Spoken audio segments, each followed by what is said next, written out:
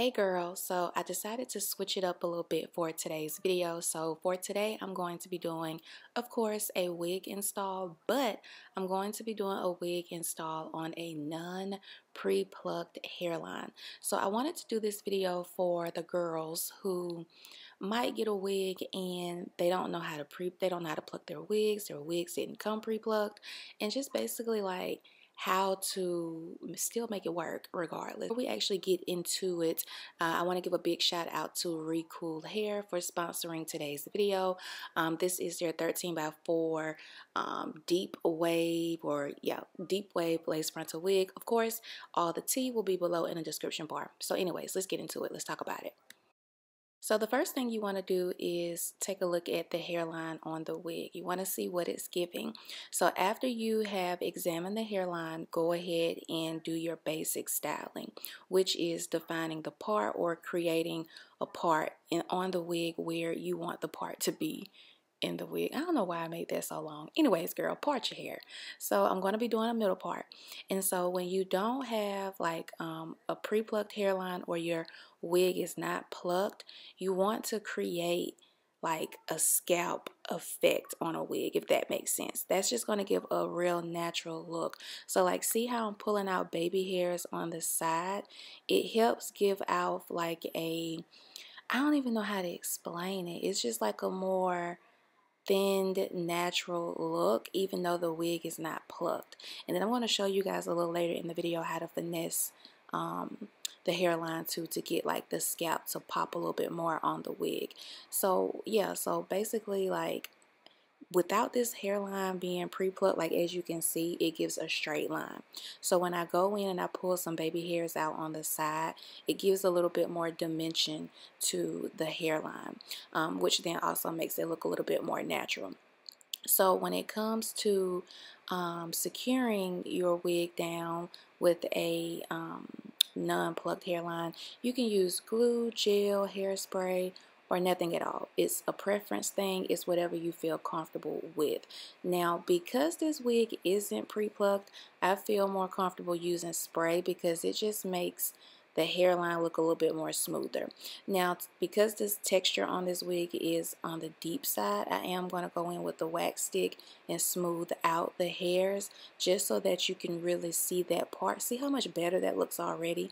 So, like, make sure you know the style that you're going for first before you even start looking at the hairline and messing with anything. Like if you know you're going to do a middle part, have that in your head and then, you know, start trying to achieve the look with the middle part if that makes sense. So like basically Basically, when you have your part, it gives you a lot more leeway on what you can do with your wig.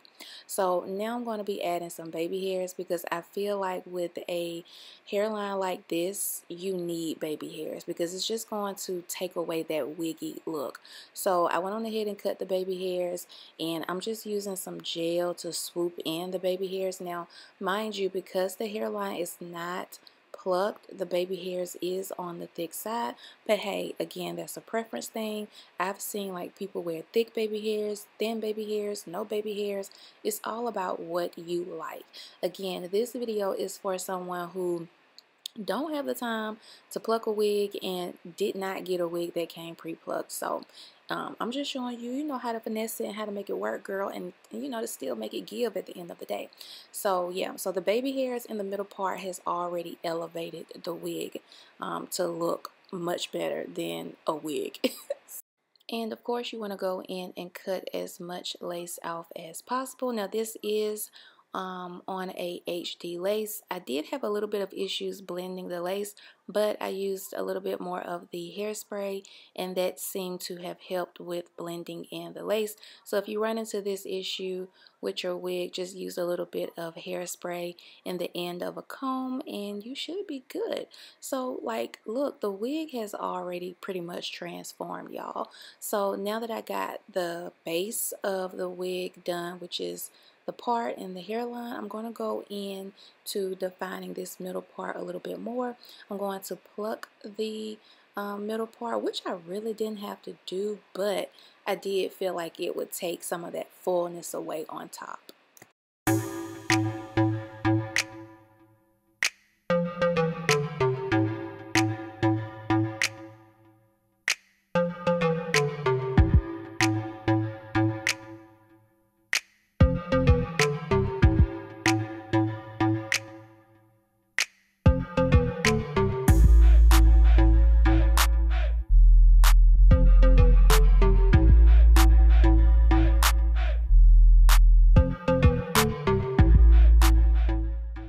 Of all, I love how big this hair is. So now I'm going to go in with some concealer and just clean up that part and just make it look a lot more visible on the wig. Like, look at that, y'all.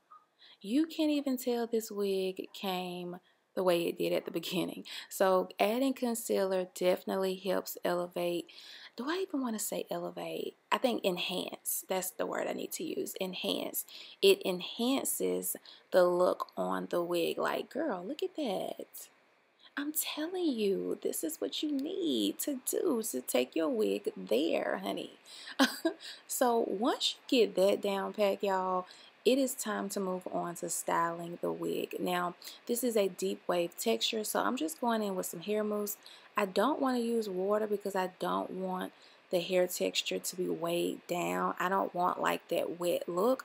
I want the hair to look like, I don't know, like it's wet, but it's not wet and it's not like the pattern hasn't drastically changed. Like I want these big waves that's in the hair and I know if I add water it's going to make the waves a lot more smaller and defined and I don't want that. I want that big fluffy look. So that's why I'm just only using mousse.